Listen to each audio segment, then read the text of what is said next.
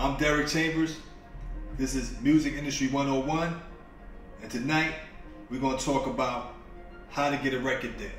This is episode number four. Major labels are no longer just signing artists. They're signing movements and brands with a proven. So if your goal is to be signed to a major label, any major label A&R will tell you, as an artist or producer, you need to create a strong digital buzz first by getting your music featured on the same top music blogs the major artists are featured on. Major labels want to see traction. What is traction? Traction is trackable data about you or your brand. This data could be in the form of BDS broadcast data systems or media-based radio spins, a huge buzz on a mixtape, thousands of online downloads, independent sales, or write-ups and praise from notable publications, presence on key websites and blogs, significant views on YouTube with a music video or blogs, touring, endorsement, or co-signs from established artists, etc. So, most major labels, major and independent, won't take a chance on an artist, especially a rapper, without any traction.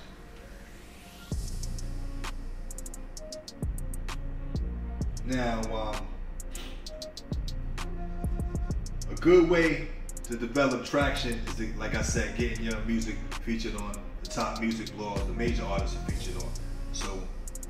Labels pull you up, to see you have a movement, you have a fan base going on, you know, because they want a return on the investment. They're not going to put money behind an artist that they're not going to make money off. It's not going to be selling.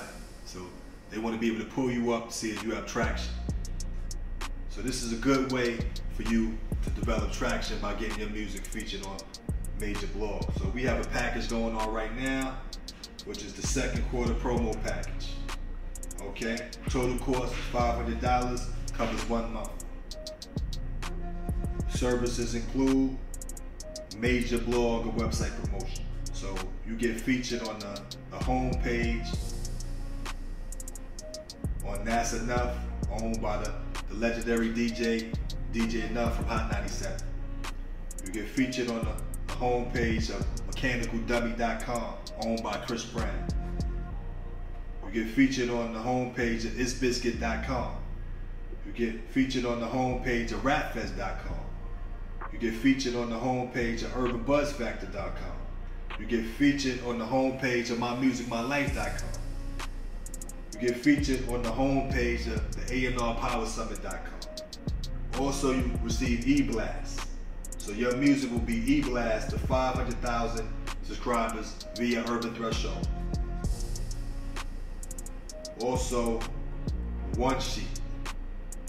One sheet is that's also have to do with branding. So it, it talks about who you are as an artist. It goes into your videos, radio interviews, as your picture, everything that you did. So one sheet, we'll create that for you. Press releases. So if you wanna, you know, release your song, okay? We can take care of that for us, you know, releasing your press release on mi2n.com. Have a press release. Take care of the viral marketing, online street team on Twitter and Facebook. Consultation slash business plan. Consultation from Urban Threshold throughout the campaign. You receive a free copy of the critically acclaimed book, The Independent Music Grind, in PDF family format. So this teaches you the music industry and, and what you need to do. Hold on, this thing's. Happened? So if you're interested in something like this, you can email me at derekchambers9 at gmail.com or you can call me directly at 1 646 470 1549 to get started today. Now what I'm gonna break down are the terms of a recording contract and a publishing deal. So this is what to expect once you get signed to a recording contract or publishing deal. Ownership of masters. This is everything. The artist can sell or transfer masters to the company or they can license them for a period of time.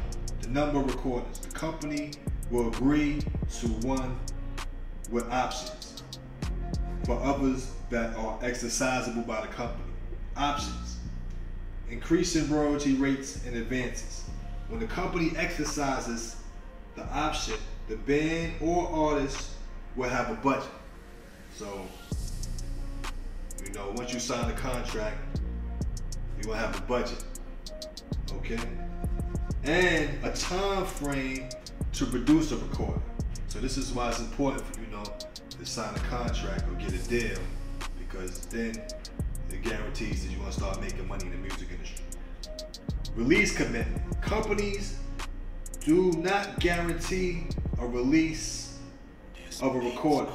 If the recording isn't good enough, the company may decline to release it. So that's why a lot of artists be on the shelf. See? Because you might have an artist like Jay-Z or J. Cole or Rihanna. You know, they're gonna not gonna release a new artist at the same time to compete with those artists. You know what I'm saying? So there's a lot of things that you know that could be done. So it said the release commitment companies do not guarantee a release of the recording. If the, the recording isn't good enough, the company may decline to release it. So a lot of artists sign to a deal, but they're on the shelf. Or sometimes, you know, the, the artist never even releases the, the material. So now what constitutes deliverable? The standard can be low and more objective, technically satisfactory or high or more subjective, commercially satisfactory. Creative control. Artists generally want creative control, and companies often want it to be mutual or shared. So a lot of times, you know, artists will be signed to a deal, and then they get, you know, they might sign, uh, have like an independent deal, so they have more creative control as far as putting the material they want to put out versus just putting out what the um, the label wants you to put out. But once you have talent, that shouldn't be a problem.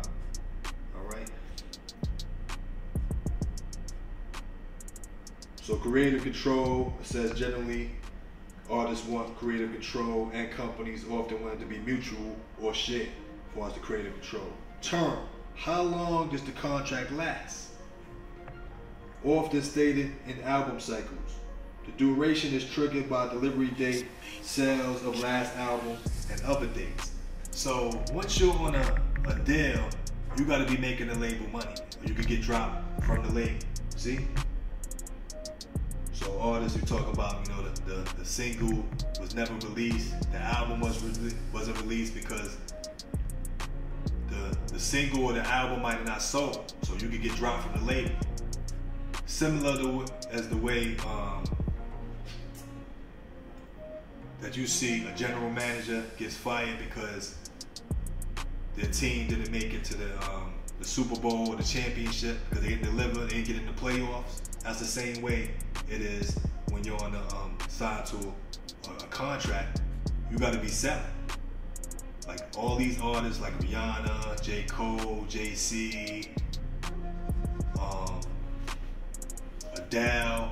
These are multi-platinum selling artists. They're selling records, so they're guaranteed to stay on that label because they're making money. The streams, billions of streams. So you can't just be signed on a, on a label and you're not making no money and all. Understand? See what it says? Term. Let's go back.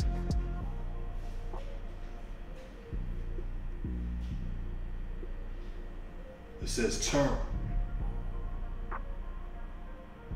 So how long does the contract last? Often stated in the album cycles, the duration is triggered by delivery date, sales of last album, and other dates. Territory, which is the US, the world, country, or geographic region in which the company may market and sell the music. How is the artist or band paid? Companies pay royalty advances to artists that are recouped from royalty earnings when the, the, re- the recording is released and sold. Okay? That's how you get paid. So, you know, you want to make money, you got to have hits on your hand. So you said companies pay royalty advances to artists that are recouped from royalty earnings when the recording is released and sold.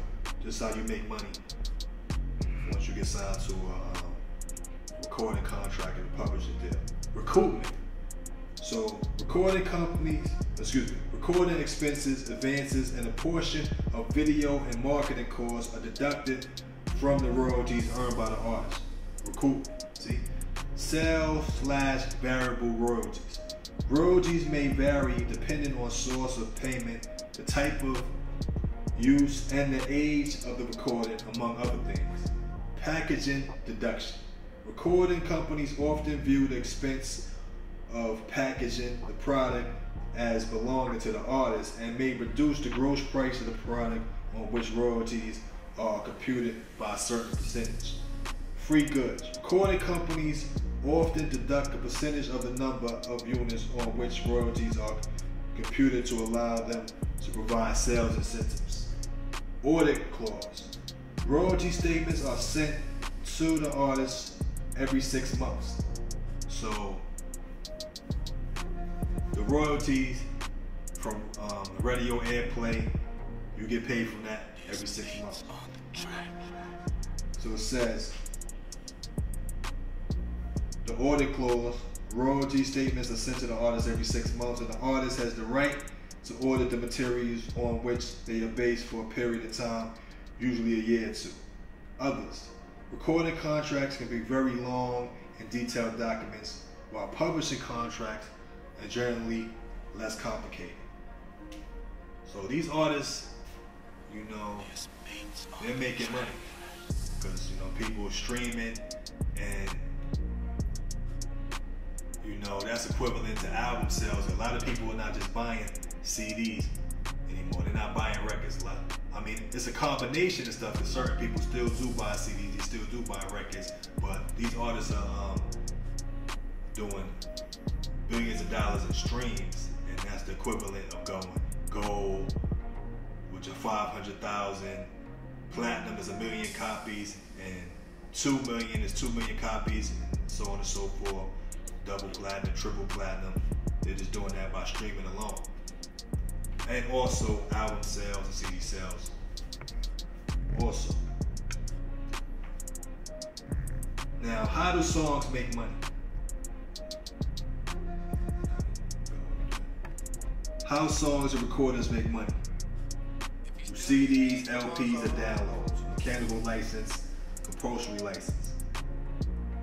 Video games, gaming, synchronization, synchronization license, negotiated fee public performance. So, you know, your music has to be copyrighted, of course, so you can show proof of ownership.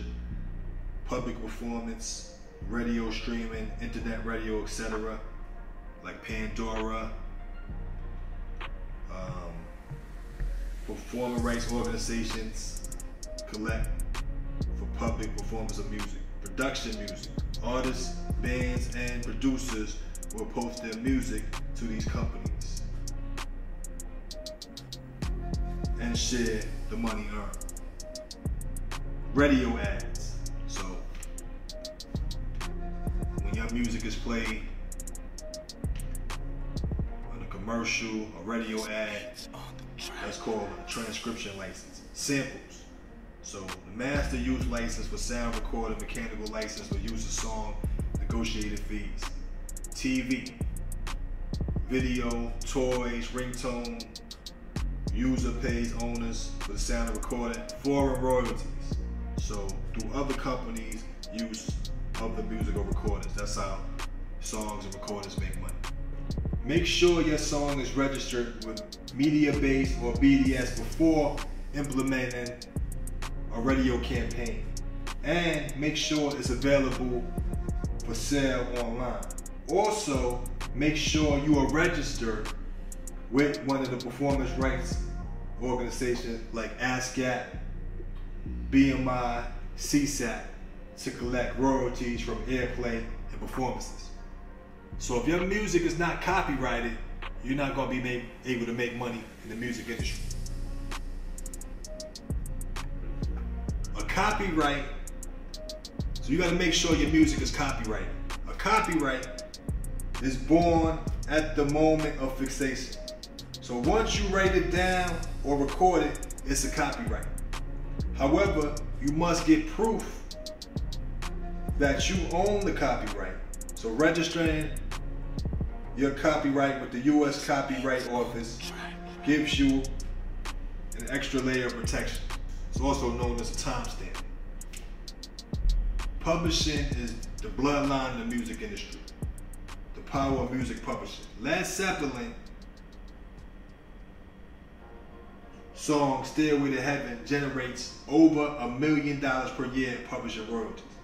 Led Zeppelin's Stairway to Heaven is undeniably one of rock's classic songs. Zeppelin hasn't licensed Stairway to Heaven for movies and commercials, but songwriters Jimmy Page and Robert Plant and Warner Chappell, the song's publisher, pour royalties from record sales, radio plays, and live performances. Zeppelin has played Stairway at every performance since 1971, yielding somewhere in the neighborhood of, of 150,000 in royalties. Everyone from Frank Zappa to the London Philharmonic has also performed it. And when you take into account that it, the plays it received at hundreds of thousands of proms, weddings, and bar mitzvahs, well, that's some serious money. DJs and venues pay a small annual fee for the right to play it. Estimated gain 400,000. Royalties from album and DVD sales total about 8.6 million. Plus Stairway is a radio king clocking somewhere like 2,985,000 plays, nearly net and nearly 2 million. It's also thought to be the best selling piece of sheet music in rock history with royalties of a million. See? So the publishing process, the songwriter writes a song, copyright um, ownership is automatic makes the song publicly available, becomes the music publisher automatically. The song is divided into equal portions of share. So the songwriter's share, once you write that song, is 50%, and the publisher's share is 50%. The power of music publishing. Daz Dillinger receives approximately 200,000 in publishing royalties per quarter. Daz Dillinger receives approximately 200k in publishing royalties every quarter. The video shows what publishing royalties add up to every 90 days. This is just BMG publishing, not including Universal Publishing or Warner Publishing or Sony Publishing. Daz Dillinger has deals with all four of them for the same song. So he is generating publishing royalty revenues, both international and domestic. Additionally, he's receiving performance royalties from ASCAP, Sound Exchange, plus album sales, digital sales, and shows. Okay. Okay. And this is um, Music Industry 101 and what I just showed you what you need to do to get a record there. See you next time.